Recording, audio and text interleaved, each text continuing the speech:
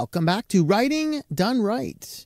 Well, about five years ago, when I first started this channel, I created this nice video, which is one of my top viewed videos, fixing page numbers in LibreOffice. Well, in the last couple of weeks, I've had a few different people uh, comment there saying they couldn't figure it out following the video. And I wanted to find out did things change in this or was it just not clear? So I watched the video today, and while it is still a pretty clear and pretty good video, I wanted to go ahead and update that video, simplify it a little bit, show you each one of the steps. And what I end up doing is I kind of undid some of the work in this particular document. So basically we're going to start with almost nothing and we're going to show you how to reset page numbers and add page numbers at the same time just so that you can uh, see how to accomplish our task.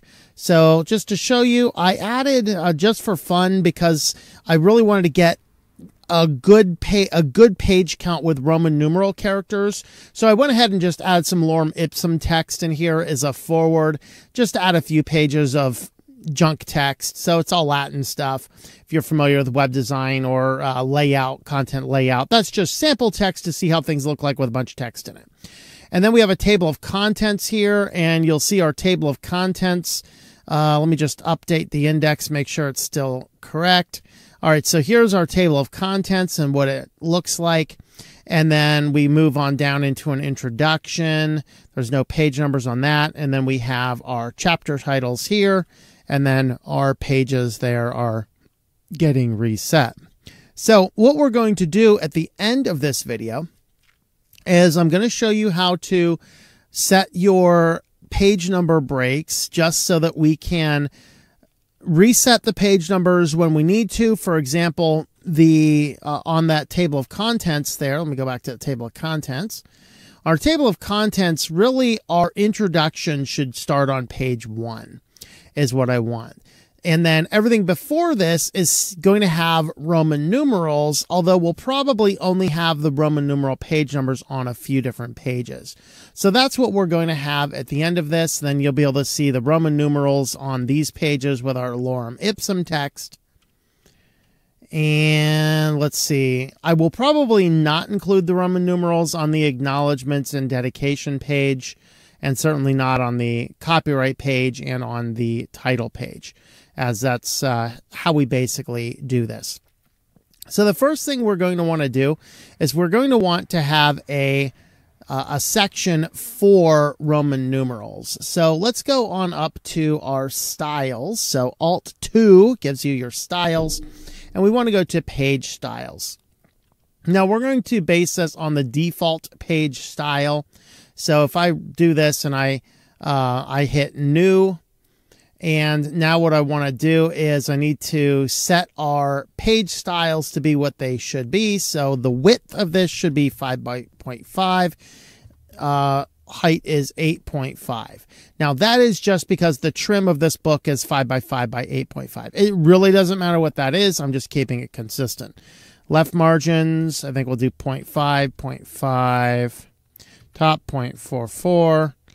Oh, we actually have something new here. We actually have a gutter. That's an interesting new thing. I just saw this for the very first time. This must be a new thing in the latest version of LibreOffice. So they're actually giving us a gutter margin there. I'm going to leave that at zero for now, just uh, because uh, I'm going to.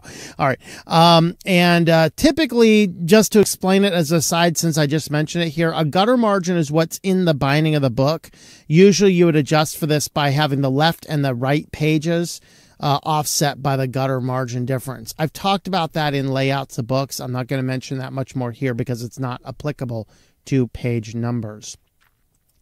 Now, as I look at that, let's go ahead and give this a, uh, we'll just call it Roman for that. And next style, we'll just do Roman.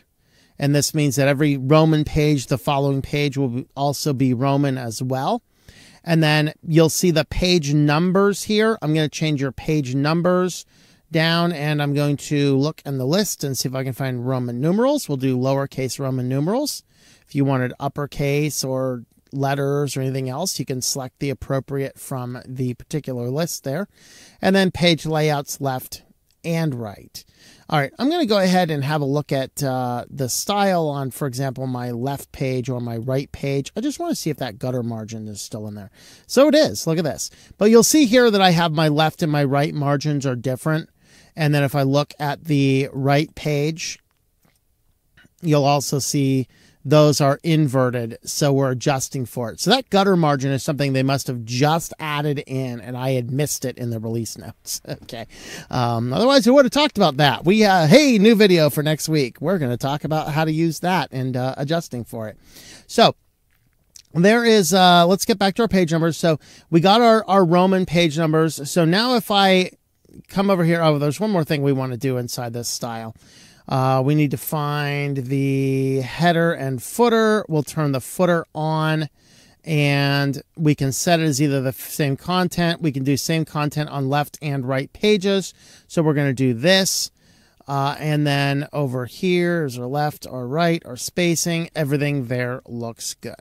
All right. So now anytime we set a page to have Roman, for example, this one here, if I double click this, now you'll see that this guy here has a footer here. So now I'll just go ahead and enter your footer. Let's center the text and we will insert our page numbers. So there we have it. So now you'll see that the page numbers there are Roman numerals at the bottom. Okay. Now if I go down and I update my table of contents, update index, now what you'll see is dedication is page three, acknowledgements page four, forward uh, uh, is your five, your contents is your 12 Roman, and then the introduction, you'll see the page numbers there. All right, so there's a couple things that we're going to want to fix in this for better professional layout. The first is these pages here, we will probably want to have your uh, have your Roman uh, numerals listed in the table of contents, but I don't want them on the page. So we'll talk about how we get that taken care of. What we'll probably end up doing is go into our default style.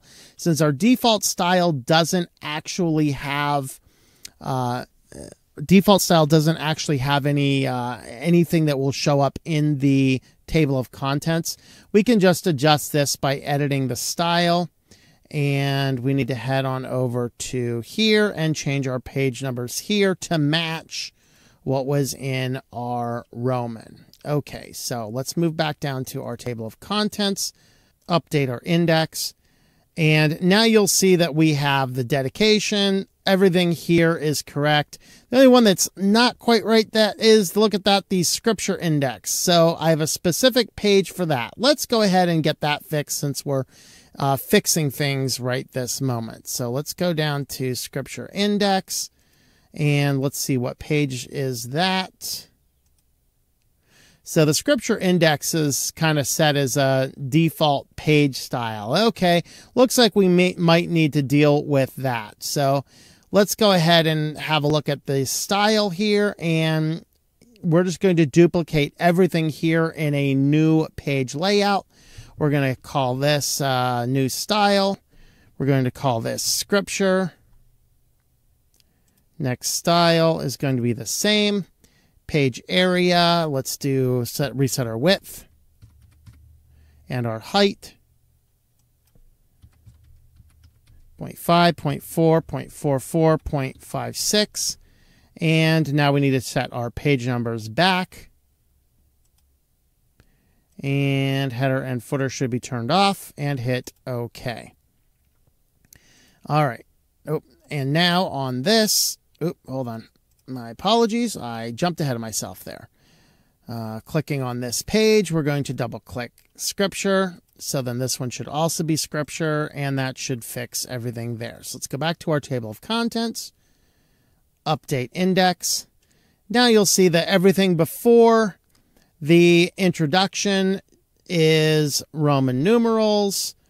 And starting here, everything here is regular page numbers. So we got that all fixed. But remember, our introduction should actually be page number one with Roman numerals up before that. Okay, so now we are going to go ahead and fix that. And where is that introduction at? That's after the table of contents. Okay, so what we're going to do now is let's go ahead and there is going to be one more change that we will need to do, and we'll point that out when we see it. Um, because the introduction should also not be on um, uh, introduction should also not be on your um, uh, Roman numerals as well. So what we're going to do now is we need to reset our page numbers starting with our introduction actually. So let's go ahead and start with that. So here's our table of contents. We can keep that there. Of course, our table of contents, we're going to manually edit that out. We don't need a page number and where that is. So starting here with the introduction, this is what we're going to do. We want to start with the first line of text here. And then what we're going to do is insert and then more breaks. And then we're going to do a manual break. Now we do a manual break, we need to start with the page style. Now this is where we're going to run into a little bit of problem because remember that the default page style is still set to Roman numerals. We could also use the scripture style since that's not. If we wanted to just do this quickly, I'm just going to use the scripture style. If you want to do it quote unquote more professionally, you create another one based on our chapter, or excuse me, based on our default page style here, and then you set those also to have the regular numbers. Effectively, it's the exact same thing as the scripture page. So I'm going to do that. And then now what we need to do is change our page number. We restart this wherever we want. Do you want that zero? Do you want that starting in 10? We're going to restart it to number one.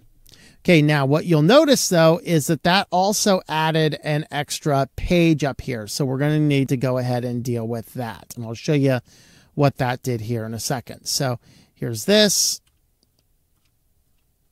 Here's our contents. This is that blank page. And this is the page break we just added. So we're just going to go ahead and take this page break out.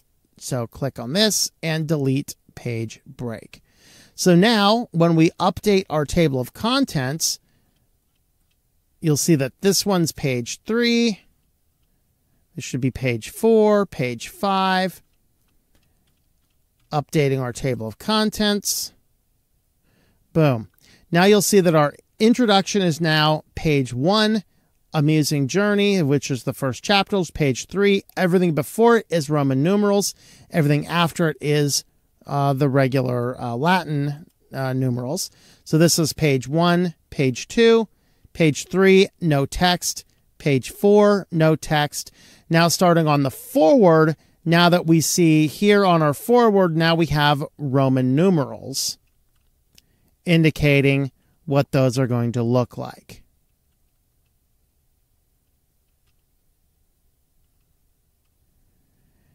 Table of contents is going to restart. Of course, it's a Roman numeral, but again, we don't need the table of contents in here. Whoop, I, I do need to edit my table of contents in order to um, delete it. Let's do edit index, and we need to uncheck protect against manual changes.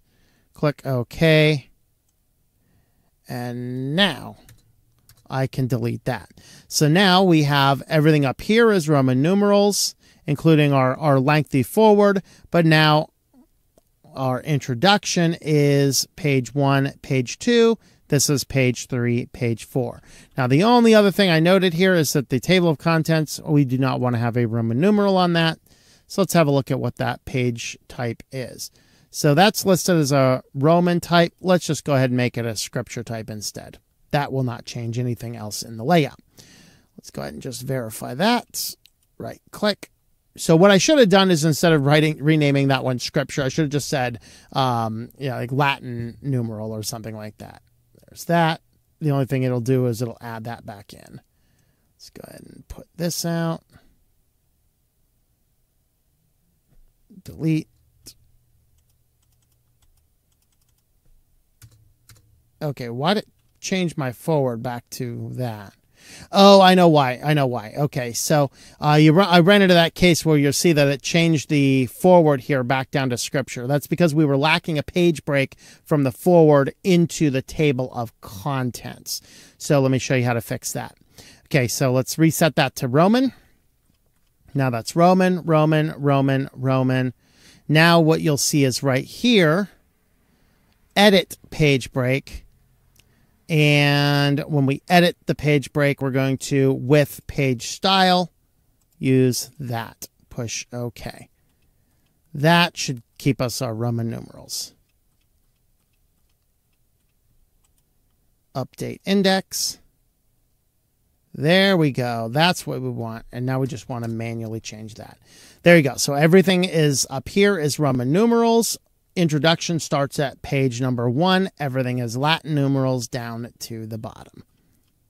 Page numbers are correct on each one of those pages. And going back up to the forward, here is Roman numerals, and that is good. And the other thing that's kind of driving me a little crazy on this one is let's go into our character, and we should have a listing in here for our footer text. Or uh, let's see. Now it looks like it looks like I just created a new one. Let's just go ahead and edit the style for that. And we just need to change our font to ooh, is this alpha, I think? I think that is alpha echo. Hit apply. And we want to change it down to a 10 point font. Okay, so that now that kind of matches what the other font sizes look like. That way it uh, matches in properly with uh, with the footers for the other pages. Let me show you that. Okay, so we wanted these all to be the same font, the same size, all throughout. So that's all we just did. We just changed those. Now, the other thing you notice here inside this, this isn't related to the page numbers, but it's something that was added in here when we were messing around. You'll see this blank spot in here. That is, there's a, a header tag that's empty somewhere. So that's right here under this table of contents. So just hit backspace. That should go away. And there it goes. So that just meant that there was something with a header tag that was just blank. It was basically from this when we added that extra page break here.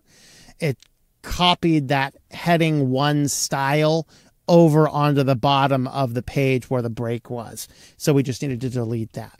Okay, so there we have it. We have our table of contents is correctly updated. We've shown you how to adjust the adjust that and manually make that change. Just uh, left click on the table of contents, hit the edit index and uncheck the protect against manual changes. I usually do that just so I can fix every, you know, the small tweaks here and there. We've fixed the Roman numerals up until the introduction. We've showed you how to create the separate styles. We've showed you that the best way to change those page breaks is with a manual break and then change the page number. Of course, you do have to set a title, a, uh, page style you're going to. So we talked about, we did the default page style, which we changed to be Roman numeral characters. And we did a new one, which should we should have just called that Latin instead of Roman. So that way we have a generic one, we have a Roman numerals, and we have a um, uh, a Latin numerals, so we can adjust them, and that's mostly to fix the pages within the table of contents. Got to change that page number, reset that, and then you can reset the page number after every section. So hopefully that helps, uh, clarifies things, um, brings it up to date with a modern LibreOffice. So let me know your thoughts of that, and I hope that this video has helped you to get your writing done right.